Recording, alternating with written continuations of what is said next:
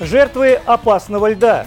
Специально для детей сотрудники Иркутского управления МЧС проводят уроки, на которых им рассказывают, как себя вести при попадании в экстремальную ситуацию. Даже простой классический галстук тоже сыграет очень положительную роль в спасении человека. Старый Новый год. В Минске в ночь с 13 на 14 января состоялось грандиозное шоу под названием «Большой новогодний бал в Большом театре». Изюминкой бала все назвали астрологический салон, в котором человек мог получить предсказания своей судьбы. Это год обезьяны. Обезьяна любит скакать. И курс доллара э, в соответствии с этим тоже будет.